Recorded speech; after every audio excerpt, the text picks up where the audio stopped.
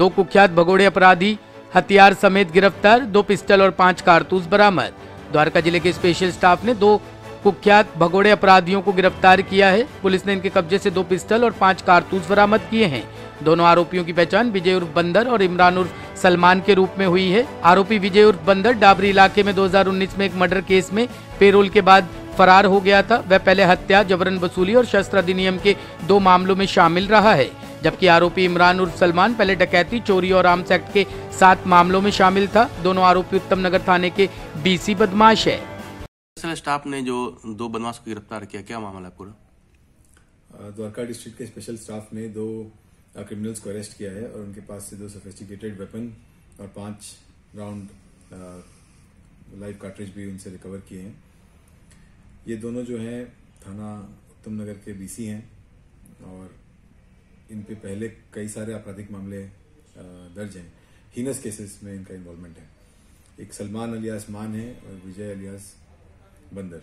ये दो हैं और ये जो है उस एरिया में क्राइम में काफ़ी एक्टिव रहे हैं। इसमें जो विजय अलियास बंदर है, वो एक मर्डर के केस में पैरोल पर भी बाहर आकर अभी पैरोल जंप कर चुका था। पैरोल के बाद वापस जाकर जेल में नहीं सरेंडर हो कुछ पैरोल जंप कर दिया।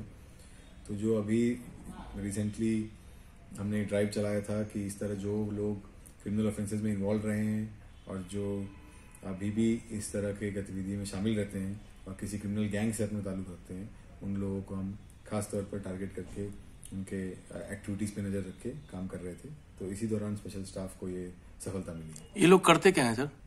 इन पे मर्डर के भी मुकदमे हैं और अदरवाइज़ फायर आर्म्स यूज़ के बहुत ज़्यादा केसेस हैं।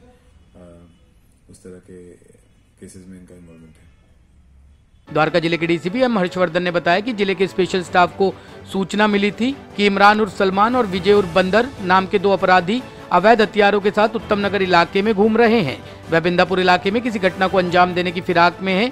सूचना के आधार पर पुलिस ने एक टीम गठित की और सेक्टर तीन द्वारका के पास जाल बिछा दिया। कुछ देर बाद दो युवक इलाके में घूमते देखे गए। मुखबिर की निशानदेही पर टीम ने दोनों संदिग्ध व्यक्तियों को पकड़ लिया।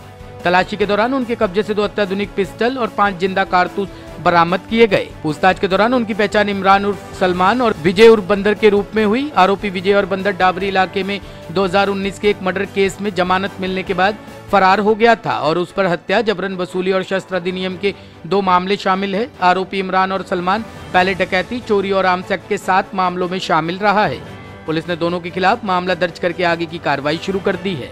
वो दोनों बदमाश हथियार लेकर इलाके में किसी वारदात को अंजाम देने की नीयत से घूम रहे थे लेकिन पुलिस को दोनों बदमाशों की सूचना मिल गई और पुलिस ने जाल बिछाकर दोनों बदमाशों को पकड़ लिया और उनसे अच्छी क्वालिटी के हथियार बरामद किए। अब दोनों को कुख्यात बदमाश चल गए हैं पुलिस के हत्थे और पहुँच गए हैं जेल। कैमरामैन हेमंत के साथ Rakesh Rawat top stories Delhi. Top story bureau के लिए दिल्ली से राकेश रावत की रिपोर्ट।